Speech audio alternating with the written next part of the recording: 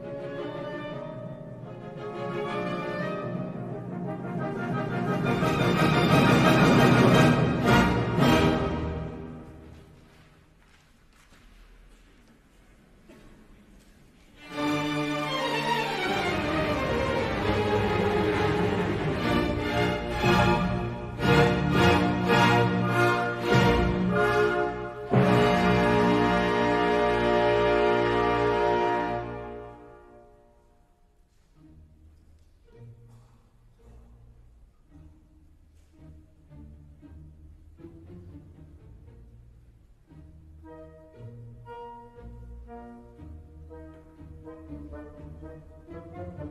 you.